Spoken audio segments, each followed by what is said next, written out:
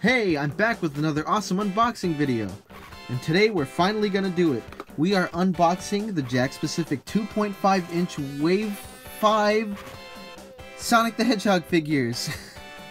so yeah, finally got the three that I was looking for. Um, if you remember my last video about Penguin Mario and some other Jakks Mario figures that I only had this Sonic with the Chili Dog figure for a while now. It's the only one I've been able to find. Um, but I ran across some very good luck the other day when I found Buzz Bomber and Mighty. So here I am now, making the video. So without further ado, let's just get right into it. So as usual, we're just going to start with uh, usually the Sonic variant or the Sonic print, whatever. We'll save the more exciting ones for the end. So that being said, we will look at Chili Dog Sonic.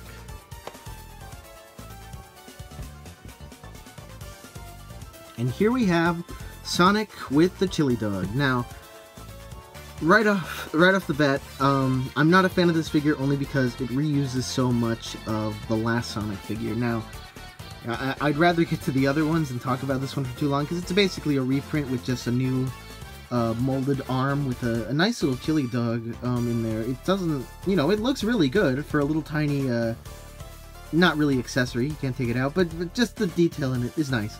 But everything else about this figure kind of stinks because it looks pretty much just like the last one. It's got the same weird face with the teeth showing as did the last uh, classic Sonic figure. I wish they did a different expression.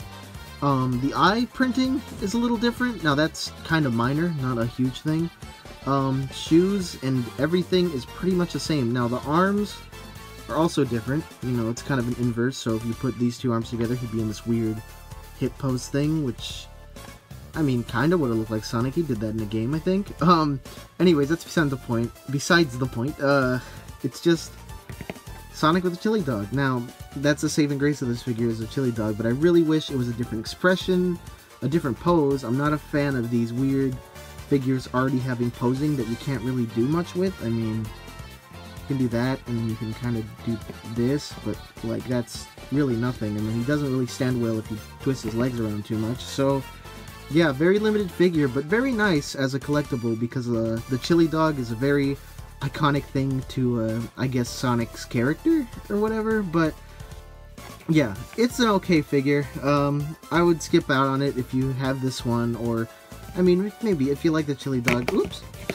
I only bought it because of the chili dog. It's kind of a new figure, but Still, really kind of lazy at the same time. With all that being said, there are some better figures that we are going to look at right now. So, with him out of the way, let's move on to our next figure, which is Mighty the Armadillo. So here we got Mighty the Armadillo, now in 2.5 inch scale, because if you remember, we have one in the 4 inch scale, but this is, uh, well, scaled down to be 2.5 inches. Now, he looks great. I like him a lot more than Sonic. I like that they still gave him the little drawn-on expression. It's very cartoony and feels great. I don't I don't like the, the teeth smile that Sonic has. But, uh, yeah. Once again, um, the other criticism is that these figures are posed already, so you can't really articulate them in a way that really works well. Maybe maybe a little better with a... Ooh, that doesn't look right. Maybe a little better with Mighty in some way, but, like, he can only stand in this kind of crouch thing, but it it fits the character. It looks sort of like he uh he's about to fight something. He looks he looks pumped up. He looks excited, but it's not the point. What am I talking about? Let's look at the 4-inch figure with him. Okay, here is the 4-inch Mighty that we got in Wave 3 of the 4-inch uh, line. And as you can see, it's pretty much the same figure. I mean, the expression is almost exact, but he's smaller, so he will scale with the uh, modern characters a lot better because as you know the modern characters are supposed to be taller than the classic characters. So here he is with the the Sonic. Yeah they're, they're, they're in scale they're in perfect scale. They're supposed to be kind of the same size. I mean Mighty is in this crouching position sort of so maybe he would be a little bit taller if he stood upright. But uh, nonetheless this is a very very great figure. Um, articulation in the arms the legs I don't think the no the head kind of turns not much though because of the uh, this little armadillo shell thing. but yeah, this is a great figure. I'm very excited for this one. Uh, funny story, actually. I so the way I got these figures, it was actually my birthday, um, as the yesterday, as the time I'm recording this, and uh, I went to a few Targets, and it was the last stop of the night, and this Mighty was the only one on the shelf, kind of just sitting there. So picked him up. It was just a, a good, just turn of luck to actually find him, and uh, yeah. So that is Mighty the Armadillo. What more can I say? It is a great figure. Uh, you should pick it up if you like Mighty. Yes, okay. Now on to the last one. And last but not least, we will be taking a look at Buzz Bomber. And last but not least, we have probably the most exciting figure of the wave. It is Buzz Bomber, one of the uh, several badniks from the Sonic series. So yeah, this is a big deal because it's just, it's it's a Buzz Bomber figure. You know, it's a this is I think the only completely original character in this wave. So yeah, it's a 2.5 inch uh, Buzz Bomber figure. So articulation just has these little uh, wings, these kind of bee wings that just kind of go up and down. That's kind of cool. Uh, the hips or the thorax, whatever, has a swivel joint so it can turn around. But then he also comes with a, uh, a stand, so you can actually put that right there in this uh, very suggestive spot and just uh, display him so he can actually actually stand upright. Now, the problem I think with this is just I don't know exactly what they're going for. Um, oh yeah, and also the little jetpack things turn too. But what they're going for with these badniks because this is a badnik I think themed after Sonic Lost World, I believe, which are which is a modern game, but they're the badniks are supposed to kind of look like classic designs. It's very strange. Um, considering that the only other badnik we have is Motobug, who is based around the Generations design, I believe. It's it's a more modern design. It's a modern take on it. You know, look look he has these big bug eyes, but like I, I don't I don't know. It's weird, but I, I do I do like that they even did Buzz Bomber, especially with this design over the the more realistic robot looking uh, Generations one. But still, it's it's a little inconsistent. But come on, Buzz Bomber, look at him! It's a blue bee. so yeah, Buzz Bomber's great. Kind of scales with the. Uh, with the with the 2.5 classic. I think it's supposed to go with the modern ones. I'm not exactly sure, but still, very very nice figure. Um, the eyes are freaky, but I guess that makes sense. It's supposed to be some bee thing. But yeah, no real other complaints other than the fact that it's uh, really weird.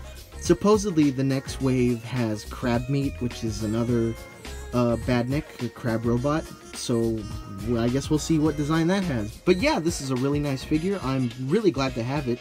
Um, funny story though, when I picked this figure up, I got it from GameStop, and there has been a thing going around where the new wave of figures, the ones I showed off today, Mighty, Buzz Bomber, and, oops, and the Chili Dog Sonic, they were marked as $20 at GameStop, which is not right. These should retail at $5 each. That's where they are. That's the price everywhere. So I had to ask the guy um, at the GameStop if that was the right price, and he said, no, I, he didn't think that was the right price, so he checked and it wasn't. So he printed out a new label and stuck it on the back and sold it to me for $5. Now, yeah, so this is the actual uh, code it should have. I can't really, I tried peeling the sticker away, but if I do, it'll just peel the whole thing. I think he actually just took the old sticker off, but the old sticker said it was 1999, um, and it was like Sonic diorama set, which is, you know, this is not a diorama set, it's a single figure that should only retail at $4.99. So, yeah, if you go to GameStop and you run across these, uh, just talk to whoever's there and just say, just, this is probably not the right price. And let's have them double check, because usually they just fix it, but in other cases, you know, I don't know what's with GameStop. I don't know why that happened, but uh, hopefully that doesn't happen again because that would suck for anyone who didn't know better and would be spending twenty dollars on uh, five dollar Sonic figures. Like that is a bit of a ripoff, and I wouldn't want that to happen to anyone. So yeah, but that's Buzz Bombers. So let's uh, wrap up this review. And here we have basically my whole collection of uh, 2.5 inch classic figures as well as the uh, 4-inch Mecha Sonic and Eggman, and the three uh, Jazzwares classic figures I have, because I think those honestly scale better with the modern ones. But as you can see here, uh, Mighty and Sonic are actually kind of really good scale, I think. I mean, I think Mighty's a little on the short side, but, but it works. Uh, here's the two Sonics again. So yeah, this is uh, the little setup here. Hopefully we get more classic characters. I would love to see um, Jax's take on a classic Knuckles, for sure. And Ray. We also need Ray. Metal Sonic, classic Metal Sonic would be nice. Classic Amy, they can. I would buy a classic Amy again because I just like Amy so much. Uh, more Badniks, as always. But uh, yeah. So that's that. But you know what? Let's just actually bring out the entire collection so far, just for fun. So this is the entire collection so far. Um, I think this is going on the second year of Jakks Sonic stuff, I believe. And uh, I am very impressed by the lineup. I mean, there are still some very important characters missing, such as uh, Silver or Blaze, even Team Chaotix. Just those mainstay characters that just really deserve a figure. I hope they get one in the in the next year because I think Jakks still has a license and uh, it's going pretty strong. I mean, obviously these are very popular. I love collecting them. I really want to finish off the Chaos Emeralds. I hope they get done with those soon. And uh, yeah, you know, Snowboard Sonic, the neon variants, I don't like that much. 2.5 inch figures, Laughing Sonic, uh, Mecha Sonic back there, Amy, my favorite figure, and uh, Motobug, and the Supers, and everyone. Yes! So this is the whole set so far, and uh, I'm very happy with this how this is going, and I hope Jakks makes plenty of characters, like I always say, and uh, just keeps the variety coming, you know? And actually stocks them, because these are kind of hard to find. I mean, I'm pretty late on these figures anyway, but, you know. Whatever. Anyways, that's the video. Uh, see you later.